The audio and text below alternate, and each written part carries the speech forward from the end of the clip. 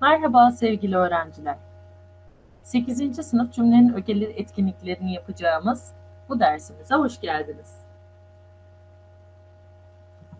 Hatırlayalım. Cümlenin iki temel ögesi vardır. Birincisi yüklem, ikincisi özne. Yüklem, cümlede asıl yargıyı bildiren sözcük veya sözcük grubudur. Özne ise yüklemde bildirilen eylemi gerçekleştiren veya yüklemin bildirdiği durumla ilgili olan ögedir.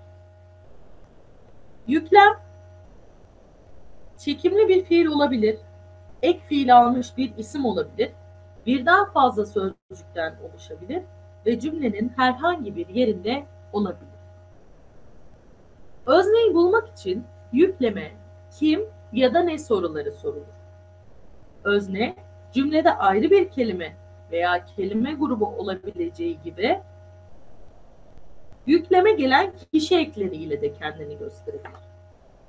Cümlede yükle, e, öznenin açıkça verilmesine gerçek özne, açık özne, yükleme gelen ekten kendini göstermesine ise gizli özne denir. Etkinliklerimizi yaparken önce cümlelerimizi ve sayfayı dondurarak kendiniz ayırın, ögelerine bölün. Daha sonra birlikte bakalım. Hayatımızı tuğla üzerine tuğla koyarak inşa ettiğimiz bir ev gibi hayal etmeliyiz cümlesini. Önce sizler yapın. Şimdi birlikte bakalım. Hayal etmek. Yardımcı eylemle kurulmuş birleşik fiildir. Dolayısıyla bir sözcük grubudur. Sözcük gruplarını ögelere bölerken birbirinden ayıramazsınız çocuklar. Dolayısıyla hayal etmeliyiz'i birlikte yüklem almanız gerekmektedir. Hayal etmeliyiz yüklemine hayal edecek olan kim sorusunu sorduğumuzda yüklemin üzerindeki ek bize biz cevabını verir. Biz hayal etmeliyiz. Burada yüklemimizi gerçekleştiren özne, gizli özne olan bizdir. İkinci cümlemizi kontrol edelim. Pahom'un hayatından herhangi bir şikayeti ve yakınması yoktu. Yoktu yüklem. Yok olan ne diye sorduğumuzda Pahom'un hayatından herhangi bir şikayeti ve yakınması cevabını alırız. Pahom'un hayatından herhangi bir şikayet ve yakınması isim tamlaması ve sıfat tamlamasıdır. Dolayısıyla bir sözcük grubudur ve tıpkı yüklemde olduğu gibi öznede de sözcük gruplarını birbirinden ayıramazsınız.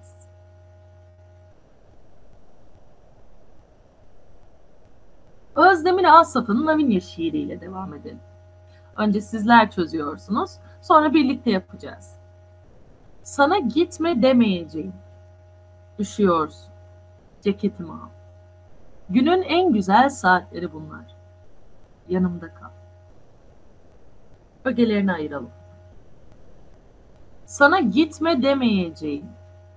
Demeyeceğim burada işin yargısı yani yüklememiz. Demeyecek olan kim diye sorduğumuzda ikinci temel ögemizi yani öznemizi buluyoruz. Ben.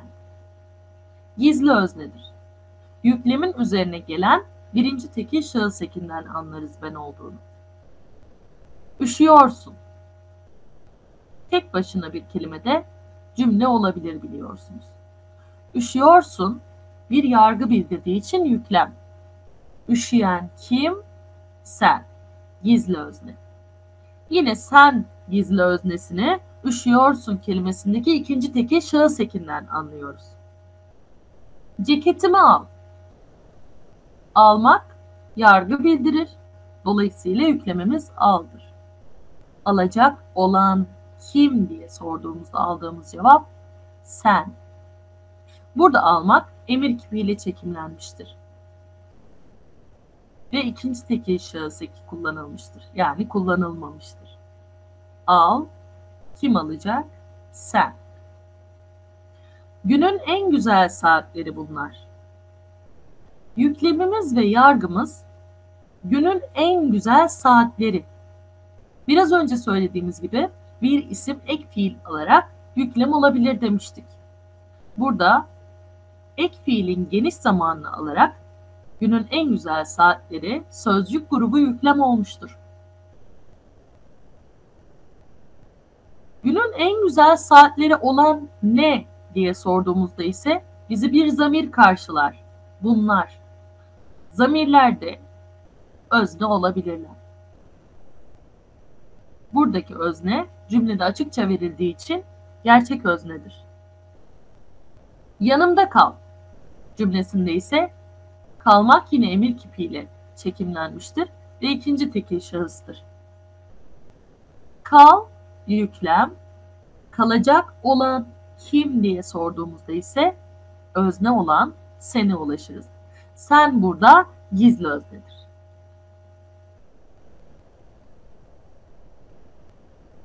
Yaşar Kemal'in Kavun Karpuz metnini inceleyelim. Önce sizler ögelerini ayırıyorsunuz. Öğle sıcağı çatır çatır ederken sudan çıktılar. Suyun kıyısında bir yeşil bir böğürtlen çalısı vardı. Hemencecik onun altına sokuldular. Çalının altı karanlık, ıslaktı. Bir mağara serinliğindeydi. Burada günlerce kalabilirler. Hemen ögelerini ayıralım. Öyle sıcağı çatır çatır ederken sudan çıktılar. Çıktılar, yüklem. Çünkü cümledeki yargıyı belirtiyor.